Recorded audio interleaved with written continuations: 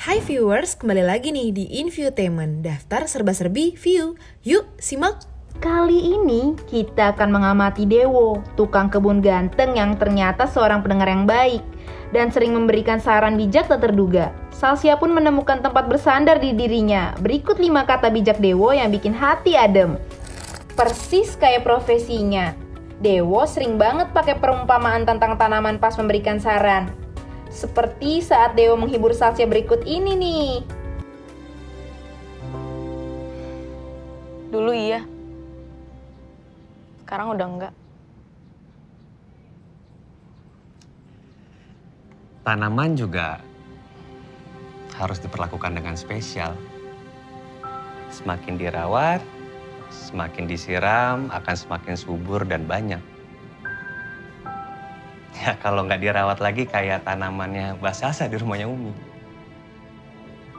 Kalau udah seperti itu, udah harus diganti dengan tanaman yang baru dan lebih indah. Mas Dewo bisa aja. Um, ya udah Mas, saya mau masak dulu ya. Mari. Silakan Mbak. Salsia bingung.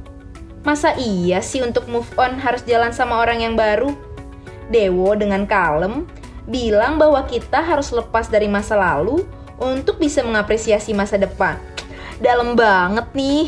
Kalau kita pengen tahu baiknya masa depan, kita harus bisa ninggalin masa lalu.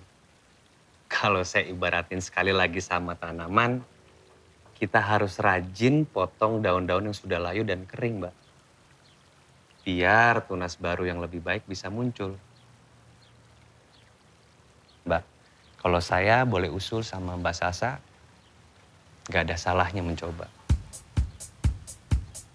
Nanti urusan rumah biar saya yang jaga. Biar saya bisa dapat overtime. Untuk jawab pertanyaan rumit Salsia, lagi-lagi Dewo pakai perumpamaan tentang tanaman yang gak ada habisnya. Kali ini tentang akar, pertumbuhan, hati, pokoknya begitu deh.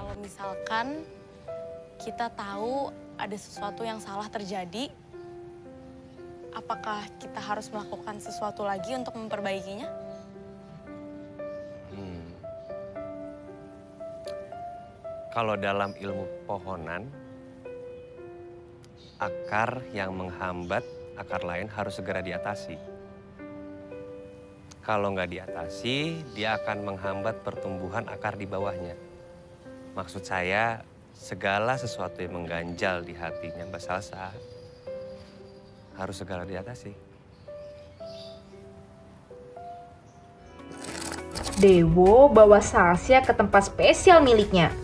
Setelah Salsia curhat tentang trauma kegagalan pernikahan, Dewo mengingatkan kalau curhat itu baik untuk jiwa dan raga. Curhat aja viewers, jangan ditahan ya. Kegagalan pernikahan aku tuh bikin aku terpuruk banget. Bahkan baca email dari mantan aja aku nggak sanggup. Kamu pasti bisa. Memang butuh waktu. Tapi kalau kamu berusaha, waktu akan membantu kamu untuk melupain semuanya.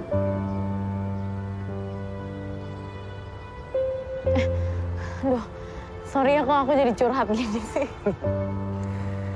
Ya, semua manusia juga butuh curhat, Mbak. Kalau Mbak Sasa nggak curhatin, nanti akan semakin menumpuk. Nanti kalau sudah semakin menumpuk, akan semakin penuh.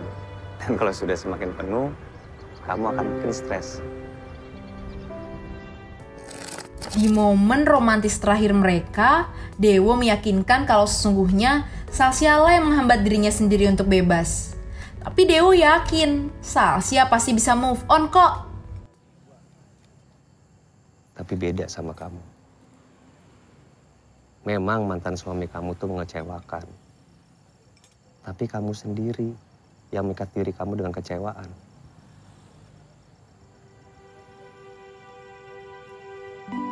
Gak ada yang mengikat kamu selain diri kamu sendiri. Kamu pasti bisa move on. Aku tahu. Kamu pasti bisa. Jangan nilai buku dari sampulnya. Buktinya banyak lapisan gak terduga dari seorang Dewo loh. tukang kebun, pendengar baik, dan juga seorang. Ingin kenal Dewo lebih dekat? Tonton Assalamualaikum Calon Imam Season 2 hanya di View ya.